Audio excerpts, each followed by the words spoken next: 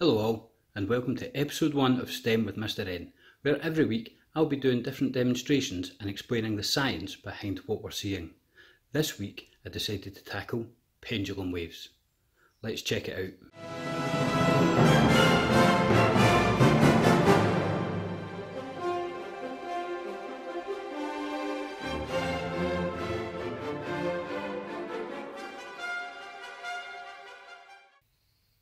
You'll all have experienced pendulums at some time in your life.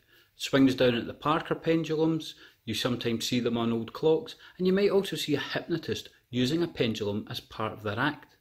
But you can also use the science behind how pendulums work to make something called pendulum waves. So, while we're in quarantine, I decided to get a few bits and bobs together and see if I could build myself a pendulum wave. I've got a time lapse of me building it then you'll see me swinging the pendulum and then I'll explain the science behind what's actually happening.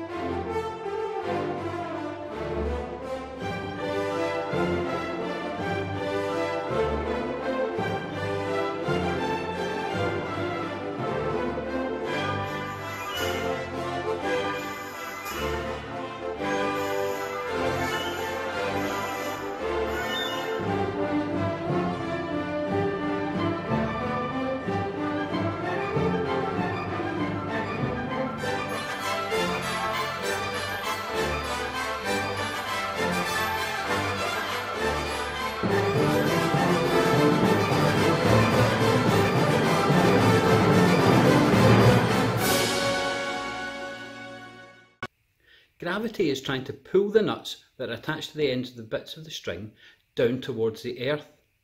And all the bits of string are being released at the same time, but they don't all swing at the same time. This is because some of the bits of string are longer and some of the bits are shorter. Now, although gravity is trying to pull all of the nuts at the same force towards the earth of 9.2 meters per second, because they're attached to different lengths of string, the nuts have further to fall if they're on a long piece of string, and they don't have as far to fall if they're on a short piece of string. This means that the nuts attached to the short bits of string will swing faster and go backwards and forwards more often than the nuts that are attached to the long pieces of string. You get the best view of this when I filmed it from above. You get a clearer view of the wave.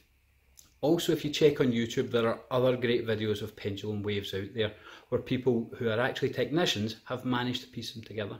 This was my attempt at home, and if you want to try it at home as well, you can send me an email at stemwithmrn at outlook.com and I can send you back the instructions that I followed. Or you can Google for pendulum wave instructions and you can try and build one at home.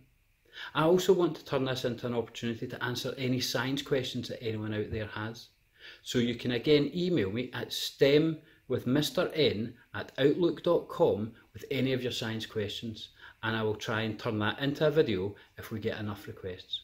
I hope you've enjoyed episode 1. This has been STEM with Mr. N looking at pendulum waves.